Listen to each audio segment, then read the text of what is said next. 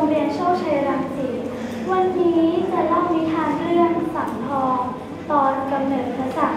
โดยมีผู้ร่วมแสดงดังต่อไปนี้ เด็กหญิงจินทาพันทองคำแสดงเป็นคุณยาย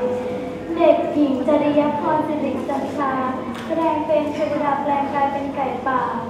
เด็กหญิงพิชณีกิติธนชัยเดชแสดงเป็นนางจันเทวี และดิฉัน แสดงเป็นลูกไม้หอยสังค่ะ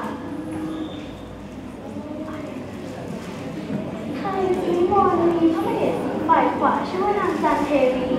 และมีพระมเหสีฝ่ายซ้ายชื่อว่านางจันทา คืนนึ่งไทยวิมลฝันว่ามือขวาได้จับพระอาทิตย์ที่มีแสงสว่างสวยงามเอาไว้ และมือซ้ายได้ฟ้าดวงดาวเอาไว้ จึงให้โหนหลงทำนายโหนหลวงทำนายว่าข้าแต่พระองค์พระองค์จะได้ พระพระองค์จะได้ลูกชายจากพระมเหสีฝ่ายขวา และได้ลูกสาวจากพระมเหสีฝ่ายซ้ายไปเลยค่ะนางจันทาซึ่งมีนิสัยริษยาผู้อื่น เกรง ว่าลูกสาวของตน จะได้ทรัพย์สมบัติน้อยกว่า จึงให้จึงให้สาวใช้ไปติดสินบนหัวหลวง ท่านโหฉันนำเงินมาให้ แต่ถ้าพวกนี้ก็ได้ให้พระมเหสีฝ่ายซ้ายเป็นใหญ่นะถ้าสามเป็นเป็นผู้มีบุญญาธิการ รู้ว่าตนและแม่จะต้องตกระกำลำบากเมื่อคลอดออกมาจึงแปลงกายเป็นลูกน้อยหอยสังหัวหลวงได้ทีทำนายว่า ข้าแต่พระองค์หอยสังตัวนี้จะเป็นกาลากินีบ้านกาลากินีเมือง ต้องขับไล่นางจันเท วีและหอยสังออกนอกเมืองพะยะค่ะนางจันเทวีร่อนเร่พเนจรอยู่ในป่า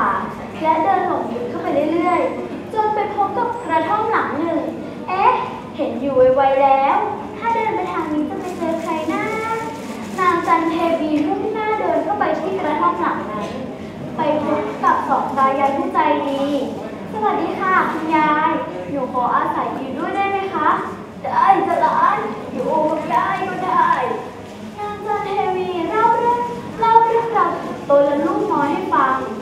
คุณยายเกิดความสงสารจึงให้อาศัยอยู่เรื่อยมานางจันเทวีช่วยงานบ้านคุณยายทุกอย่างไม่ว่าจะเป็นกวาดบ้าน ถูเรือนทำอาหาร เพื่อเป็นการตอบแทนพระคุณคุณยาย ดึก ก็เฝ้าคุยกับลูกน้อย ลูกลูกหอมกอดจุกนานา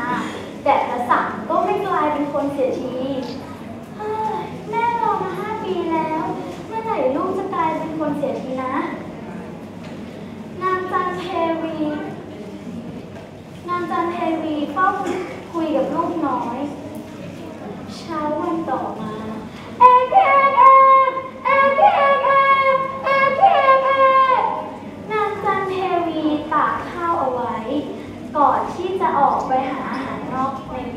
บ้านเทวดาสงสารนางจันเทวี จึงแปลงกายเป็นไก่ป่า มาจิกคุ้ยเขี่ยข้าวที่นางจันเทวีตากไว้พระสังสงสารแม่ของตน จึงออกมาจากหอยสังและไปไล่ไก่ป่า ออกไปนะอย่ามายุ่งกับข้าวที่แม่ฉันตากไว้ออกไปชิวชิวๆจากนั้นก็ช่วยทำงานบ้านช่วยงานแม่ดีกว่าต้องกตัญญูต่อพ่อแม่ สนุกจัง ต่อไปเราก็หุงข้าว แม่จะได้ไม่ต้องเหนื่อย แม่กลับมาแม่ตกใจแน่ๆเลย เมื่อนางจันเทวีกลับมา ก็เห็นเด็กนั่งเล่นอยู่ที่ชานบ้าน จึงรีบวิ่งเข้าไปดู แต่พระสังรู้ตัว รีบหลบเข้าไปในหอยสังทันที เมื่อนางจันเทวีเข้าบ้าน ตกใจ เห็นเห็นข้าวของเรียบร้อยบ้านเรือนสะอาด ข้าวปลาอาหารก็หุงไว้จึงให้ถามคุณยาย ยายคะยายคะยายทำหรือเปล่าคะเปล่าจ้ายายไม่ทำยายนั่งสารฉลองอยู่ ตกดึก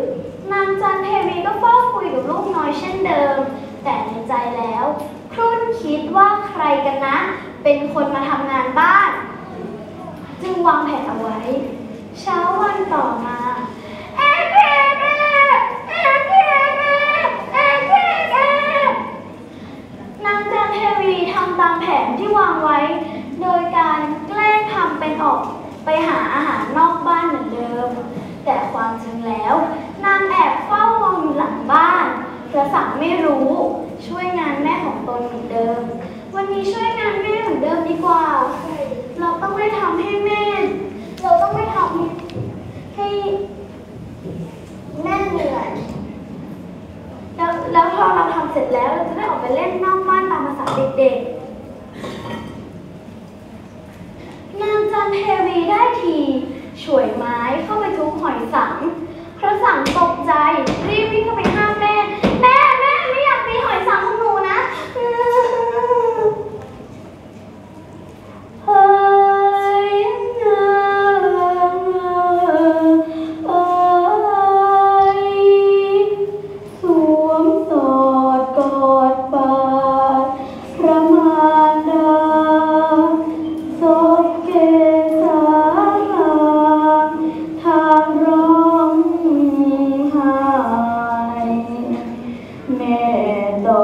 อ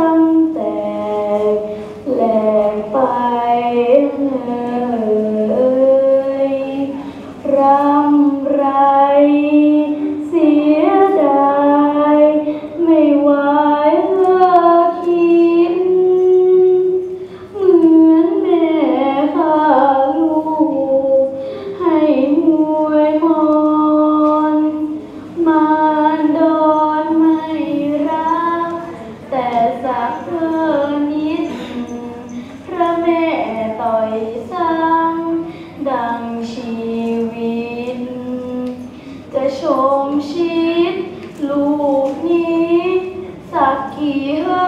วัน พระสังร้องไห้เสียใจที่แม่ของตนทุกหอยสังที่ตนอาศัยอยู่ตั้งแต่กำเนิด นิทานเรื่องนี้สอนให้รู้ว่า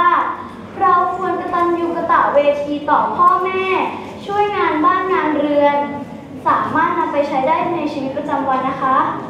ขอบคุณค่ะ